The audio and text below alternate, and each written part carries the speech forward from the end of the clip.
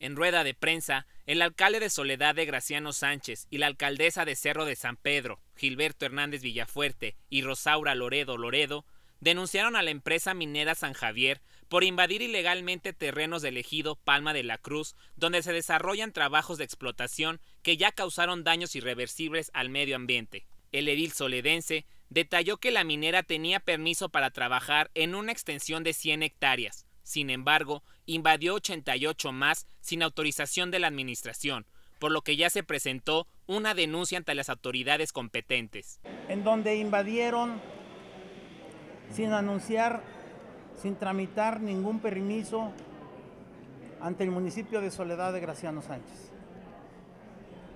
Nosotros no nos habíamos dado cuenta, si no es porque tenemos el reporte de la empresa que es de la ciudad de Los Ángeles, California, donde nos, reportean que había una vasta extensión devastada por los trabajos de la minera San Javier que se vincaron al municipio de Soledad de Graciano Sánchez sin gestionar ningún tipo de cambio de uso de suelo, ningún tipo de permiso para eh, detonar explosivos, ningún tipo de permiso para utilizar químicos.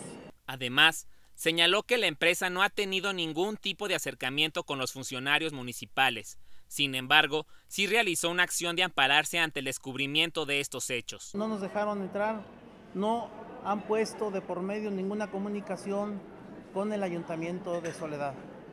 Al contrario, se ampararon, se ampararon ante tales hechos de autoridad, el cual el, amparo no fue, no, bloqueó los, los actos de autoridad para los cuales estamos facultados en el ayuntamiento. Y entonces queremos anunciar que vamos a emprender una acción jurídica en contra de la minera San Javier. Hernández Villafuerte declaró que el municipio tuvo conocimiento de esta problemática tras un estudio cartográfico realizado por la Dirección de Catastro Municipal. Tras el descubrimiento, se llevó a cabo una inspección de la zona donde se constató el daño causado a la flora y fauna del lugar, Posteriormente, se colocaron sellos de suspensión de trabajo por el caso omiso de la empresa para aclarar la situación. Finalmente, dijo que no se detendrá el proceso jurídico en contra de esta empresa que se autodenomina socialmente responsable cuando representa totalmente lo contrario. Con imágenes de Germain Vázquez, José Luis Vázquez, Noticieros Canal 7.